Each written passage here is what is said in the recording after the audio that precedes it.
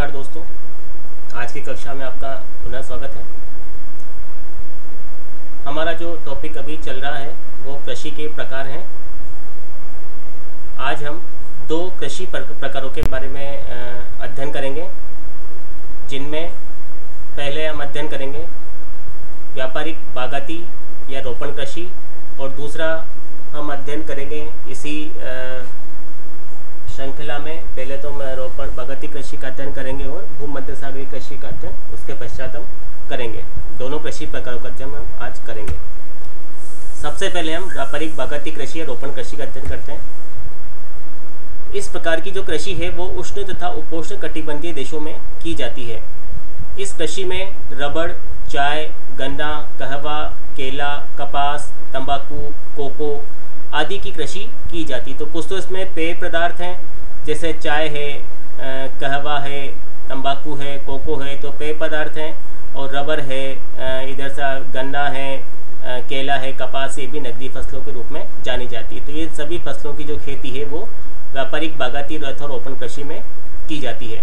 तो जिन क्षेत्रों में कृषि की जाती है, वहाँ पर पहले स्थानीय लोग कृषि कार्य करते थे। तो जितने भी पहले उष्ण उपोष्ण कटिबंधीय अधिकांश देश थे कृषि करने वाले वो सभी उपनिवेश नहीं थे। तब तक स्थानीय लोग वहाँ पर कार्य करते थे।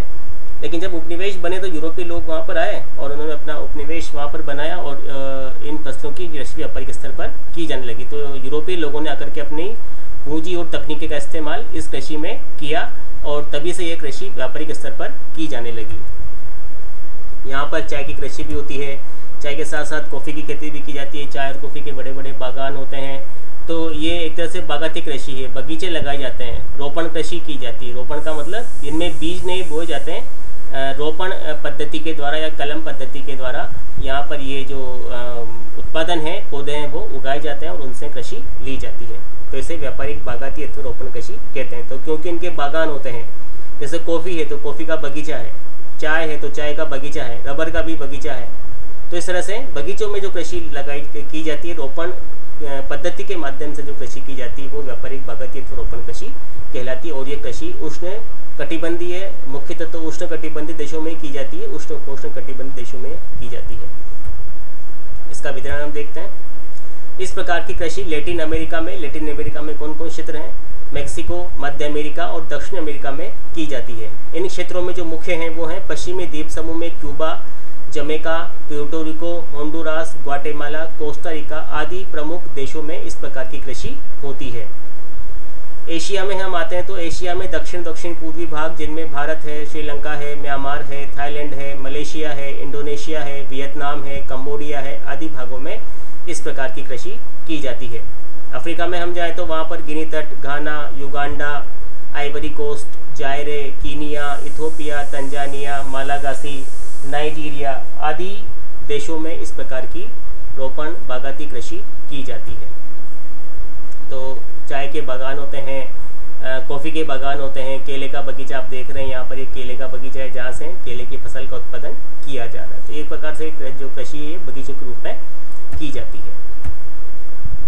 इन समझ क्षेत्रों में बागान मूलतः विदेशियों, जिनमें यूरोपियन लोगों की प्रधानता रही है, के द्वारा विकसित किए गए भी आपको मैंने बताया था कि ये लोग ये क्षेत्र जब तक उपनिवेश नहीं थे, यहाँ पर इस प्रकार की कृषि साधारण स्तर पर की जाती थी। लेकिन जब उपनिवेश बने, यूरोपीय लोग यहाँ पर आए तो उन्होंने देखा कि इससे काफ़ी अधिक फ़ायदा है, मुद्रा अर्जन हो सकता है तो उन्होंने यहाँ पर अपनी पूंजी लगाई और जो श्रमिक थे वो स्थानीय ही थे।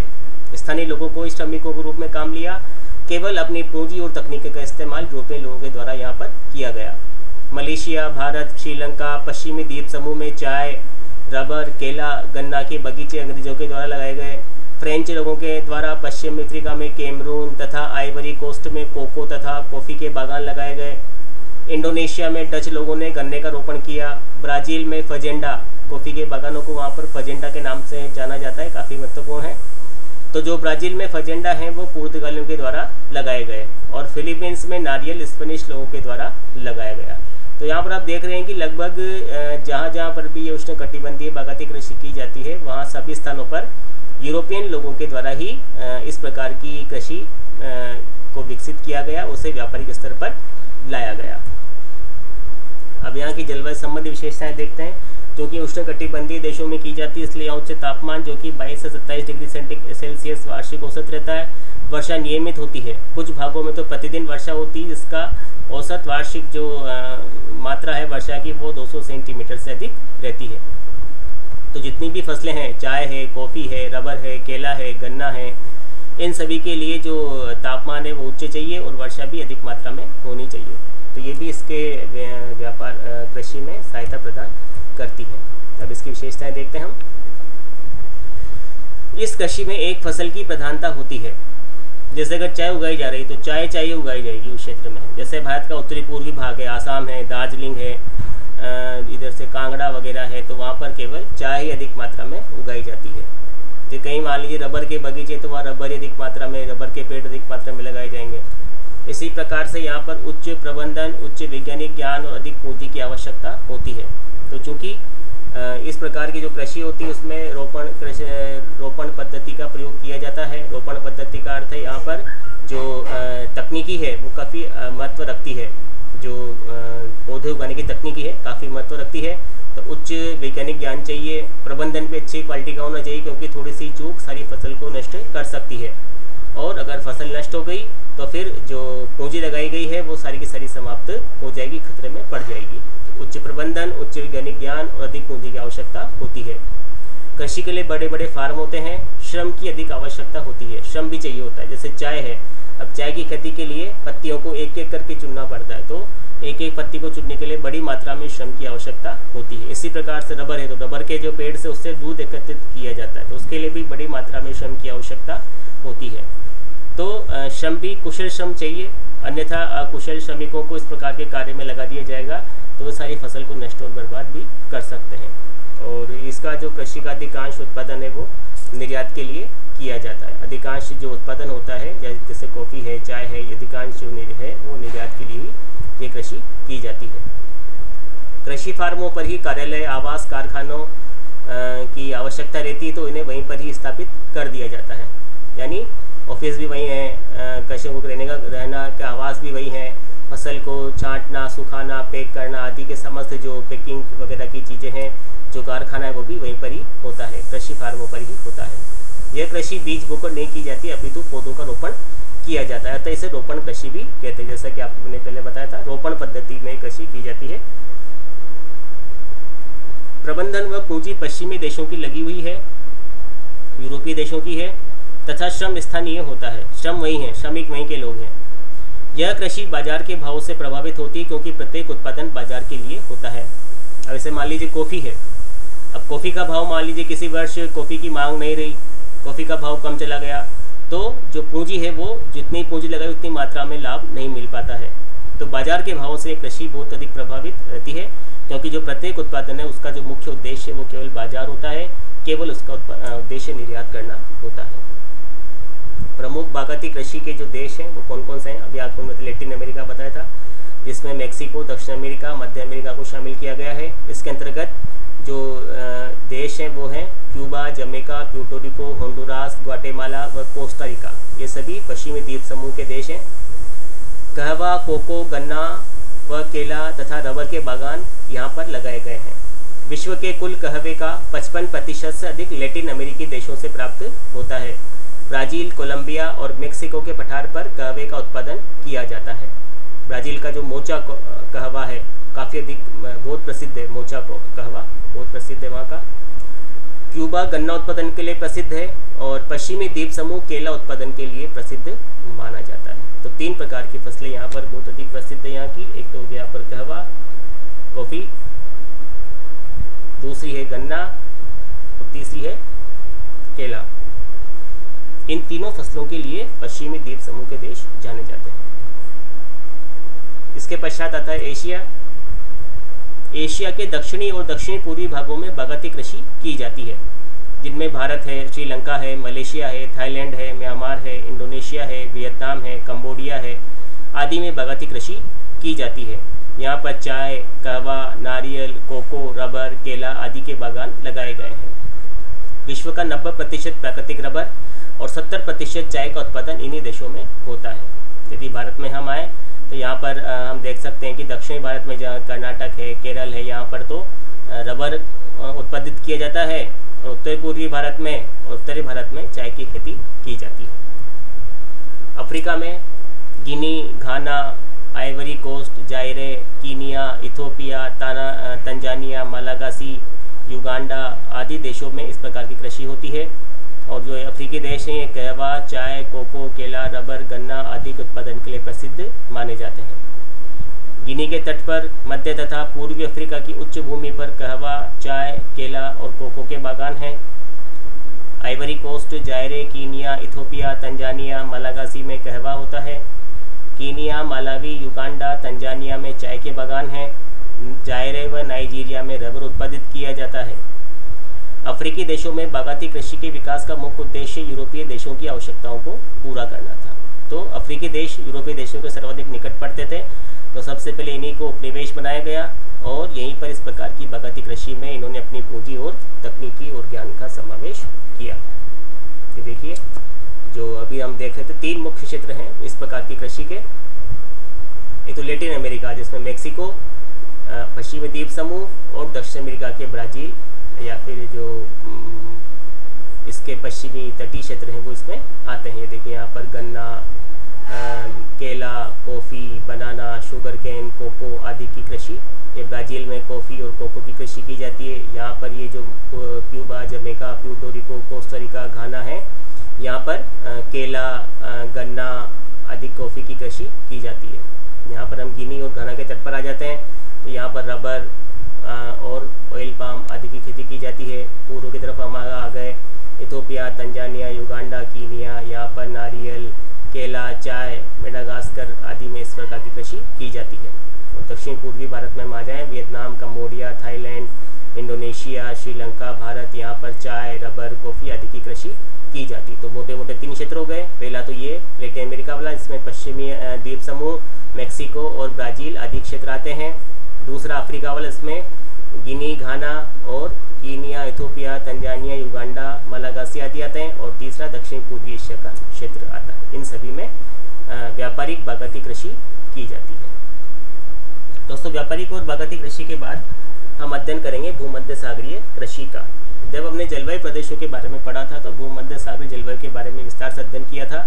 भूमध्य सागरीय जलवायु विश्व की एक विशिष्ट प्रकार की जलवायु है, जो कि पछुआ पवनों के प्रभाव के कारण उत्पन्न होती है। सूर्य के दक्षिणायन होने के कारण ये अक्षांश, जिनमें भूमध्य सागरीय जलवायु पाई जाती है, पछुआ पवनों के प्रभाव में आ जाते हैं और वहाँ पछुआ पवनों के प्रभाव से वर्षा होती है। यह ऐसी जलवायु है जिसमें ग्रीष्मकाल शुष्क होता है, तापमान अधिक पाया जाता है और शीतकाल ठंडा और आर्द्र होता है, जहाँ पर पछुआ पवनों से वर्षा होती है शीतकाल में। तो इस कृषि का जो जो तो इस क्षेत्र में जो कृषि की जाती है, उसे भूमध्य सागरीय कृषि के नाम से जाना जाता है। इस कृषि का विस्तार 30 से 40 डिग्री अक्षांशों के मध्य महाद्वीपों के पश्चिमी भागों में है। यह कृषि सघन, उच्च विशेषीकृत और अधिक फ़सल विविधता वाली होती है। रसदार फलों का उत्पादन और पशुपालन भी इसमें किया जाता है। इस प्रकार की भूमध्य सागरीय कृषि भूमि को विश्व की फलोद्यान भूमि भी कहा जाता है। विश्व के शराब उद्योग का हृदय भी यहीं पर है। तो यहाँ पर शुष्क दशाओं में या गर्मी वाली दशाओं में यहाँ पर फलों फलों की कृषि भी की जाती है। रसदार फल भी उगाए जाते हैं। यहाँ पर गेहूँ जो आदि फ़सलें भी उगाई जाती है। टमाटर आदि की कृषि भी यहाँ पर की जाती है। तो विविधता वाली कृषि यहाँ पर है। और जो वर्षा होती है वो शीतकाल में होती है। तो विभिन्न प्रकार के फलों का उत्पादन भी होता है। अंगूर भी यहाँ पर उगाए जाते हैं, इसलिए विश्व के शराब उद्योग का हृदय भी यही माना जाता है। ये देखिए। Must be practice practised in the climate that has a dry summer and cool moist winter को बताया था मैंने, शुष्क तो ग्रीष्मकाल होता है। और जो ठंडा और आर्द्र है वो सर्दी की ऋतु पाई जाती है। तो इसमें देखिए आप यहाँ पर खजूर भी उगाया जाएगा।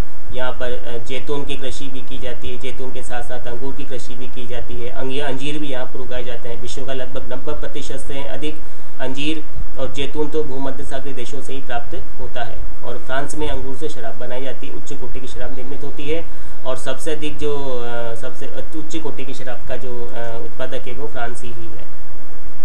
यहाँ की जलवायु हम देखते हैं। वर्षा शीतकाल में होती है और ग्रीष्मकाल शुष्क रहता है, जैसा भी आपको मैंने बताया था। औसत वार्षिक वर्षा 25 से पचहत्तर सेंटीमीटर के लगभग होती है। तटवर्ती और पर्वतीय भागों में वर्षा अधिक होती है। तटवर्ती भागों में पछुआ पवनों के द्वारा अधिक वर्षा होती है।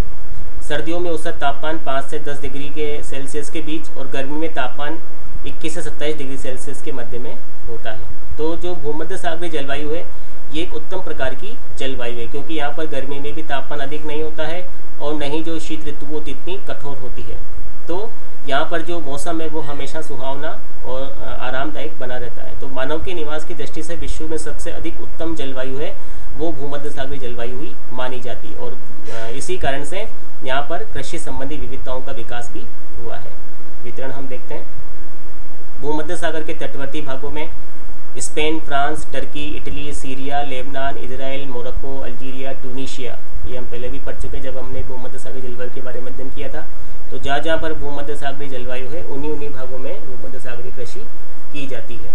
इसके अलावा कैलिफ़ोर्निया की घाटी, मध्य चिली, दक्षिण पश्चिमी अफ्रीका और दक्षिणी ऑस्ट्रेलिया में यह विस्तृत है। आंतरिक भागों में निर्वाह कृषि और तटीय भागों में व्यापारिक कृषि की जाती है, क्योंकि आंतरिक भागों में वर्षा भी कम होती है और तापमान संबंधी विविधताएँ भी पाई जाती है, जबकि तटीय भागों में तापमान संबंधी विविधताएँ भी कम होती है और वर्षा भी अधिक होती है, इसलिए आंतरिक भागों में निर्वाह कृषि इसका स्वरूप है और तटीय भागों में व्यापारिक इसका स्वरूप है। ये देखिए कहाँ कहाँ पर है? ये भूमध्य सागर के चतुर्दिक जितने भी देश हैं, अभी आपको मैंने बताया था, Spain, France, Turkey, Italy, Syria, Lebanon Israel Morocco, Algeria, Tunisia, California की घाटी, मध्य चिली और यहाँ दक्षिणी पश्चिमी अफ्रीका और ये दक्षिणी ऑस्ट्रेलिया, इन सभी भागों में भूमध्य सागरी कृषि की जाती है। इसकी विशेषताएँ देखते हैं खाद्यान्नों के साथ साथ पशुपालन भी किया जाता है। तो खाद्यान्न तो उगाए जाते हैं, गेहूँ है, जौ है, जई है, मक्का है, ये सभी उगाए जाते हैं। इसके साथ साथ पशुपालन भी किया जाता है। शीत ऋतु में वर्षा काल के दौरान गेहूँ, जो, मक्का तथा शुष्क गर्मी में घास और सिंचित फ़सलें उगाई जाती है। तो जो गर्मी की ऋतु होती है, उसमें वर्षा नहीं होती है तो वहाँ पर सिंचाई का सहारा लिया जाता है। और शीतकाल में वर्षा होती है तो उस दौरान गेहूँ, जो, मक्का आदि उगाए जाते हैं। अधिकतर कृषि का उद्देश्य व्यापार होता है। अभी आपको मैंने बताया था कि जो जो चीज़ें उगाई जाती है, उनका उद्देश्य मूलतः व्यापार ही है। जैसे अंगूर उगाया जा रहा है, जैतून है, अंजीर है संतरे हैं, नींबू है, इन सभी का जो मुख्य उद्देश्य होता है, वो व्यापार ही होता है। फलों की कृषि जिनमें खट्टे और रसदार फल जैसे अंगूर, जैतून, खुबानी, संतरा, नींबू, अंजीर आदि की कृषि बहुतायत से की जाती है, क्योंकि जलवायु इनके उत्पादन के अनुकूल है। तो मुख्य रूप से जो ग्रीष्म ऋतु है, वो इनके लिए अनुकूल होती है, क्योंकि ज़्यादा अधिक तापमान नहीं होता है, आकाश खुला होता है, साफ़ होता है, चमकदार धूप निकलती है। तो ये दशाएँ इन खट्टे और रसदार फलों के पकने में बहुत अधिक महत्वपूर्ण योगदान प्रदान करती है। पर्वतीय तथा पठारी भागों में पशुपालन भी होता है, क्योंकि वहाँ पर उच्च मात्रा में जो कृषि है निर्वाह प्रकार की ले लेती है। ये देखिए, ये अंजीर है। ये देख रहे हैं आप, ये जो फल आपको दिखाई दे रहा है छोटा छोटा ये अंजीर का फल है। इसको सूखा इसको पकने के बाद सूखा करके, इसको कृत्रिम विधि से परिष्कृत, सुरक्षित करके और निर्यात किया जाता है। ये देखिए, ये जैतून है। ये जैतून के द्वारा इसकी जिससे जैतून से तेल निकाला जाता है, जिसकी जो कि काफ़ी अधिक अच्छा और उत्कृष्ट माना जाता है, जैतून का तेल। और ये है अंगूर, जिनकी खेती भी भूमध्य सागरीय क्षेत्रों में की जाती है। तो ये तीनों यहाँ की मुख्य जो है वो उपज है। ये हो गया सब अंजीर, और ये हो गया जैतून, और ये अंगूर। ये यहाँ की प्रधानता है। इन्हीं से ही भूमध्य सागरीय कृषि को जाना जाता है। ग्रीष्म काल में सिंचाई का स्थान महत्वपूर्ण है, क्योंकि ग्रीष्म काल में वर्षा नहीं होती तो सिंचाई का सहारा लिया जाता है। यहाँ की कृषि विभिन्न प्रकार के कारकों, जैसे वर्षा, शुष्क ग्रीष्म काल की अवधि, सिंचाई, जलापूर्ति, कृषक की आर्थिक क्षमता, विश्व बाज़ार में कीमतों का उतार चढ़ाव आदि से प्रभावित होती है। भूमध्य सागरीय देश, अंजीर, जैतून व उच्च कोटि की शराब उत्पादन में एकाधिकार रखते हैं। तो विश्व का नब्बे प्रतिशत से जो अधिक अंजीर और जैतून है वो यहीं से आता है और अभी आपको बताया था कि फ्रांस उच्च कोटि के शराब उत्पादन में एक अधिकार रखता है। इन प्रदेशों में कृषि के चार स्वरूप विकसित हुए हैं। नंबर एक, फलोद्यान कृषि, जैसा कि अभी हम चर्चा कर रहे थे। भूमध्य सागर जलवायु फलों की कृषि के लिए अनुकूलतम है, खट्टे और रसदार फलों के लिए अभी आपको बताया था कारण भी बताया था मैंने। यह एक उच्च विशेषीकृत कृषि के रूप में विकसित हो गई है। भूमध्य सागरीय कृषि में फलोद्यान निम्न भूमि से लेकर के पहाड़ी ढलों तक विकसित हुए हैं। जैतून, अंजीर, नींबू, संतरा, खुबानी, अंगूर इस कृषि की पहचान है। इसके बारे में हम चर्चा कर चुके हैं अभी। इसके बाद अंगूर की कृषि है। अंगूर की कृषि भी यहाँ पर काफ़ी अधिक मात्रा में विकसित हुई है और विश्व के सबसे सर्वोच्च कोटि की जो शराब है, वो इन्हीं देशों में बनाई जाती है। फ्रांस का राष्ट्रीय उद्योग है। इस कृषि में विभिन्न स्थानों पर अंगूर की कृषि विभिन्न रूपों में विकसित हुई है। इसके रस से उच्च कोटि की शराब भी बनाई जाती है। फ्रांस में यह एक राष्ट्रीय उद्योग है। निम्न कोटि के अंगूरों से किशमिश बनाई जाती है। यूनान, टर्की तथा कैलिफ़ोर्निया किशमिश के बड़े निर्यातक हैं। स्वच्छ आकाश, तेज धूप, गर्मियों का मौसम अंगूर की कृषि के लिए उत्कृष्ट वातावरण प्रस्तुत करते हैं। तो ये जो वातावरण है, स्वच्छ आकाश, तेज धूप, गर्मियों का मौसम ये अंगूर ही नहीं, बाकी शेष सभी खट्टे और रसदार फलों के उत्पादन के लिए भी उत्कृष्ट वातावरण प्रस्तुत करता है। ऑस्ट्रेलिया और अफ्रीका का केप प्रांत में भी अंगूर उगाया जाता है। तो जो विश्व के सबसे उत्तम कोटि की शराब होती है, फ्रांस में उत्पादित की जाती है और वहीं से विश्व के विभिन्न भागों को निर्यात की जाती है। सर्वोत्तम कोटि की जो शराब है वहीं पर बनती है। खाद्यान्न और सब्ज़ियाँ तो खाद्यान्न सब्ज़ियाँ भी उगाई जाती है। शीतकालीन कठोर गेहूँ मुख्य खाद्य फ़सल है। यूएसए कैलिफ़ोर्निया और मरे डार्लिंग बेसिन में बड़े पैमाने पर खाद्यान्न उगाए जाते हैं। तो गेहूँ जो है वो मुख्य खाद्यान्न फ़सल है यहाँ की। गेहूँ, जो, मक्का भी उगाए जाते हैं। इटली, स्पेन और फ्रांस में चावल भी उगाया जाता है। इटली, स्पेन, फ्रांस में जो नदी घाटियों के क्षेत्र हैं, वहाँ पर चावल उगाया जाता है। बीन्स, मसूर, प्याज, गाजर, टमाटर, चुकंदर भी यहाँ पर उगाए जाते हैं। सीमित पशुपालन। वैसे यहाँ पर पशुपालन के लिए आवश्यक दशाएँ नहीं हैं, लेकिन आंतरिक शुष्क भागों में जो थोड़ी बहुत है घास, वो विकसित हो जाती है। क्लोवर, अल्फाफा व अन्य फलीदार घास उगती है। इटली के लोम्बार्डी के मैदान, कैलिफ़ोर्निया की सान जोक्विन घाटी के अतिरिक्त विकसित नहीं हो पाए तो पशुपालन दो ही जगह पर मुख्यतः यहाँ पर है, इटली का लोम्बार्डी मैदान, जहाँ पर भेड़ वगैरह पाली जाती है, और कैलिफ़ोर्निया की सान जोक्विन घाटी के अतिरिक्त यहाँ पर पशुपालन का विकास नहीं हो पाया है।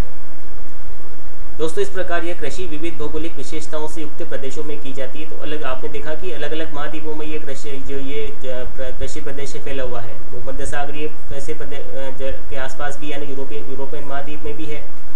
कैलिफ़ोर्निया में आप चले जाओ तो अमेरिका महाद्वीप आ गया, मध्य दक्षिण अमेरिका आ गया दक्षिणी, पश्चिमी अफ्रीका आ गया, अफ्रीका महाद्वीप आ गया और ऑस्ट्रेलिया। तो अलग अलग भौगोलिक विशेषताओं से युक्त महाद्वीपों में इसकी कृषि की जाती है।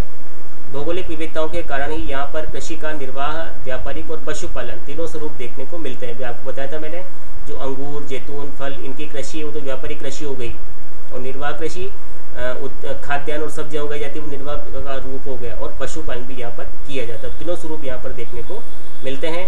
यूरोपियन देशों में विकसित देश, विकसित विकसित, इन महाद्वीपों के विकसित भागों में बड़े बड़े नगर विद्यमान है, जैसे कैलिफ़ोर्निया है, अच्छे बड़े नगर हैं, दक्षिण अफ्रीका में भी कई बड़े नगर हैं, यूरोप महाद्वीप में तो जहाँ जहाँ कृषि की जाती है सभी बड़े नगर ही हैं, सभी विकसित देश हैं, फ्रांस है, इटली है, स्पेन है, जर्मनी ये सब विकसित देशों में गिने जाते हैं, और इन सभी भागों में सघन जनसंख्या निवास करती है। तो इस प्रकार से जो भूमध्य सागरीय कृषि है, वो अधिक विशिष्टता का रूप लिए हुए हैं और यहाँ पर तीनों प्रकार कृषि का यहाँ देखने को मिल जाता है, निर्वाह व्यापारिक और पशुपालन। तो इस प्रकार से हमने आज दो प्रकार की कृषि के बारे में अध्ययन किया। एक तो व्यापारिक बागाती रोपण कृषि और दूसरा भूमध्य सागरीय कृषि। धन्यवाद।